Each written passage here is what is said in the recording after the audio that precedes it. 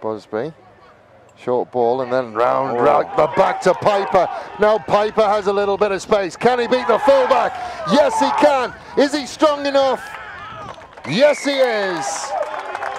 Just like that, they'll come back. Fantastic line there. Yeah, that's from halfway. Set play, first phase. Just looking whether I can see Richard Wasley. I mean, he, he's a closed book most of the time, but any coach in the league will not want to see a first phase try.